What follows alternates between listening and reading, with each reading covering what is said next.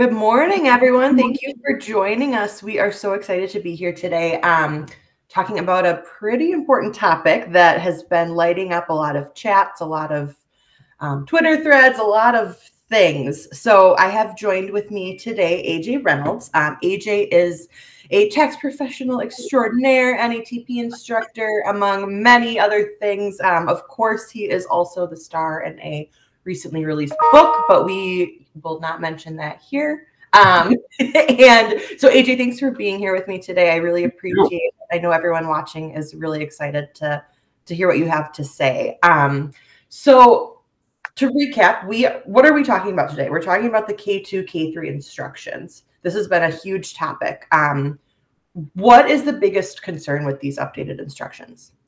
Oh yeah, well, good morning, Sam. So it's good to see you. Hey, uh, and good morning to everybody that's out there. Uh, if you were to look at the instructions, even if they're posted on the IRS's website as of right now, it will say, if you go to the front page, which I have them right here, it says who must file. Now, even though it's been updated, but it hasn't been updated. It says the partnership need not complete the schedule if the partnership does not have items of international tax relevance or international activities. However, on January 18th, the IRS dumped the final instructions uh, to us, which haven't necessarily been updated. So if you go to irs.gov and you go into the instructions or you, you keyword search the instructions, that's what you will read. However, and I won't I won't go into all the details, but on January 18th, they released some additional information, which is causing all the buzz. And that is, is not only let's uh, Sam, let's say you and I own a laundromat in Iowa, and um, and we have, of course have no international, no foreign activities because we just collect the money from the laundromat. However, uh, let's just use me, I have to file Form 1116 because my foreign tax credits, married filing joint would be over 600 or single under 300. Suddenly, your and mine, little old partnership laundromat has to complete K2 and K3. That suddenly just erupted, and that's kind of why um, why we're here today because of um, this requirement that I think is going to produce the huge burden. But I will tell everybody, let's just kind of take a step back. I know everybody's kind of panicking and everybody's like freaking out, but we need to just take a step back and discuss a few things. So, you got another question for me? I sure do. So, what can um, a preparer do to help fulfill their requirements? Is the first question I got for that, you. That is that's that's a loaded question, but that's a good one. so as I stated, January 18th, they come out and said, you know, even though and, and that's I think throws everybody off because they would just think, well, we have a laundromat. Who cares what AJ or you know the, the partner does? It's not our concern, but it is. So what can we do or what should we do comes into play? And let, let's back up for a second. The K2 and K3 are an extension of, and I'm just going to talk about the partnership, but it's the same on an S Corp. So if you remember on partnerships in box 16, if you had any, any international activity or an investment that produced foreign tax credit, it was in box 16 and it had about six or seven codes that you kind of shook your head about. So now they've developed a 19 pages of K2 and in 20 pages of K3 or vice versa to further expand on something that was in this tiny little box. So that in itself, the new forms are a burden, but the IRS says they're they will provide clarity on issues, which they probably will if you had international uh, exposure or activity. But now, how do you know if I prepare the return? If I'm Joe tax preparer and Sam and AJ are the partners, and I don't do neither Sam or AJ's tax return, how do I know if Sam and AJ has a filing requirement for 1116? Well, now we're going to have to go to the main partner. And what if there's 20 partners? We'll have to go to the main partner and we're going to have to say, hey, uh, we're going to need to find out if anybody out there has to file the 1116. And if so, we could have 100 partners, but if we have one partner the partnership then has to file these forms. So, and I will tell you that the K2 is an extension of information that's on the Schedule K, 1065 or 1120S. And the K3 is an extension of what's on Schedule K1.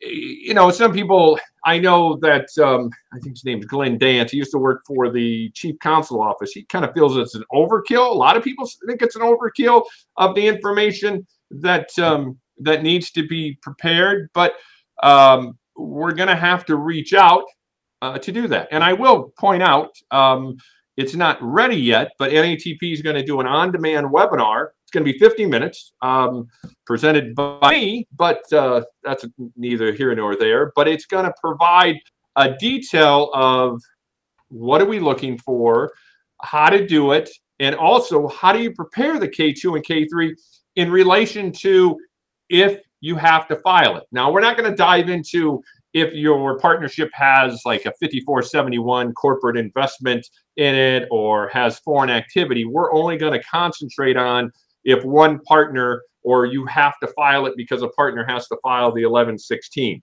I will tell you that I just did one for a law firm that I represent. And so we're going to present that and, and there'll be a lot of information in the 50 minutes, but it will be, uh, it will be wonderful. And I, and I know everybody's here just like me are busy going 100 miles an hour, drinking 85 cups of coffee and Mountain Dew to stay awake and uh, and try to smile while we're doing it. But thank you for joining today, and also the on-demand webinar. It's going to be 50 minutes. I'll I'll tell you exactly how to do the form, what boxes to complete. Um, so hopefully you just take 50 minutes out of your time. What's cool, Sam, is I believe it's going to be on demand, which then they can pull it up at 10:30 or 11:30 at night and uh, you know it's and that way you can go to sleep afterwards because I'll definitely probably put you to sleep. put you to sleep. So that was an extension of my wife always accuses me they just asked you what time now the not how the watch was made. So i expanded a little bit too far so that's quite all right. no it's good information definitely. Um next question for you aj um is there penalty relief from having to file the schedules? Yeah so last year the IRS came out because the K2 and K3 is an expansion on what used to be in box 16 of the 1065 and box 14 in the 1120S. There's a lot of stuff going on. You look at the forms and the instructions. If you look at the forms and instructions, it's probably 60 or 70 pages. It will make your head spin. So that's why I say you got to take a step back and just look at it from uh, the basic perspective. But yes, the IRS notice 2021 39 provides penalty relief. But it will also go into more detail in the on demand webinar. But there is penalty relief available, but it's only if it's reasonable cause and not willful neglect. Now, what does that all that mean? It means did Joe prepare that prepares the laundromat for Sam and I, did he ask the necessary question to ensure AJ or Sam didn't have 1116 filing requirements. And because of that, um, there's some extra work that we have to do. Or I will tell you, Sam, you can just say, I don't care. Uh, just bear with me before I say that. I don't care what the other partners do. I'm just going to complete K2 and K3 and be done with it. And, mm-hmm. you know, and, and, and just make it part of it. And that way you don't have to care. And, and another thing um, that uh, NATP is going to provide as part of the on-demand webinar is is is a, an internal control checklist. Even I don't care if you, I'm all by myself. I just have an assistant, but uh, you know, like an internal control document to make sure, or if you have a reviewer or a larger staff, we're going to provide. Uh, I've already developed it. Um, uh, we're going to provide a an internal checklist and then I think we're going to produce something that we can give to the main partner to give out to the partners to sign off on it. So anyway, we'll, we'll get into that. Um, That'll be really valuable for yeah, yeah. anyone dealing yeah, with this. Sure. Absolutely. Um, last question for you, AJ, before we kind of wrap up. And it looks like we have a few questions coming in on the um, comments on this video. But before we get to those, um, are there any other helpful tips you have for tax pros who are dealing with this right now? Right. And we'll go back to the internal control document that you do in your office. Also, to get to send out an email, I guess you prefer an email to send out that um, uh, you should know, you go to the main partner and say, Can I have all the partners' email addresses? And we send out, and they have to electronically sign that they don't have a filing requirement. Uh, and there, and there's uh, there's a little there's a lot of caveats there. But an, another thing to consider is the K2 and K3 are available, but a lot of softwares do not have them uploaded into the program. And here's the kicker, Sam.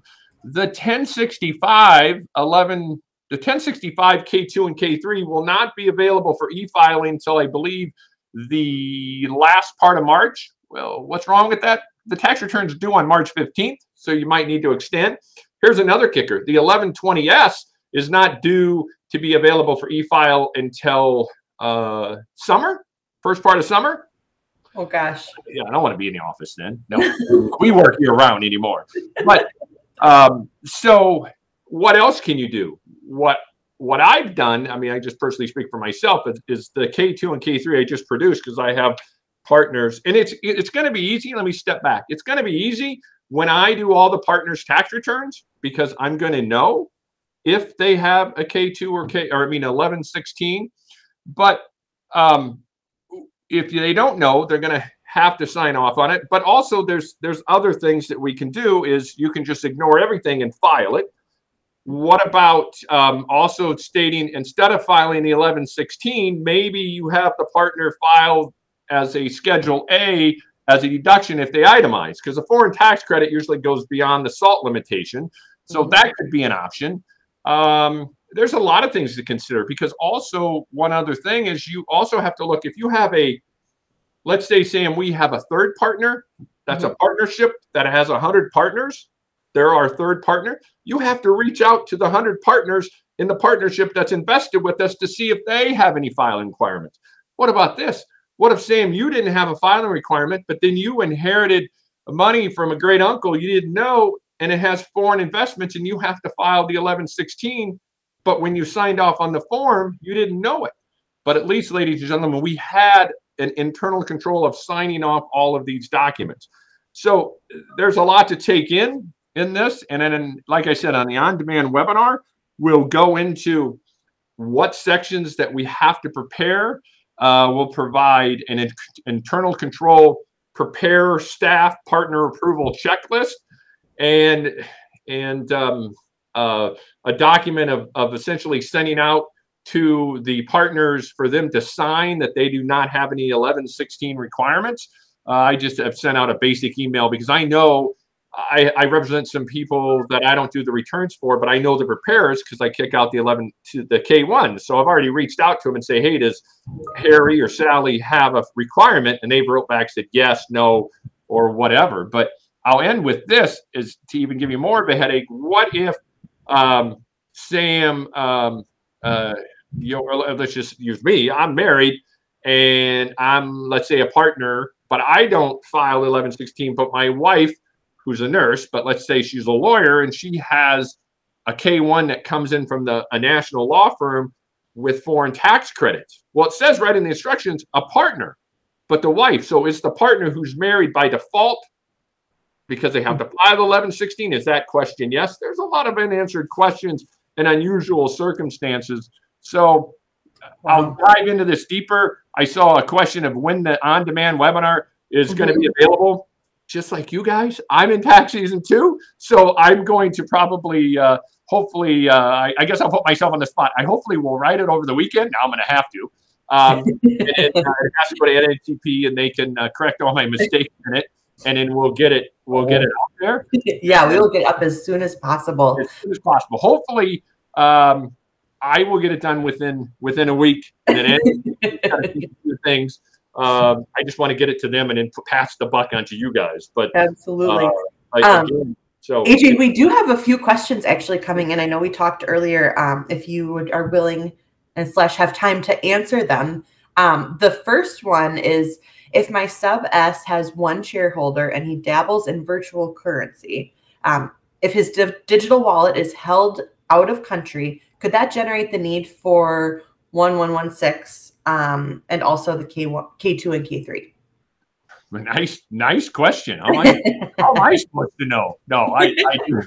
No, I do. Um, so thank you for the question. I would say no, because – you make an excellent point because you know the virtual currency that's held we're not doing virtual currency conversation but just because you have to file a FinCEN report, which is uh, foreign accounts over $10,000. Remember, virtual currency is considered property and not currency.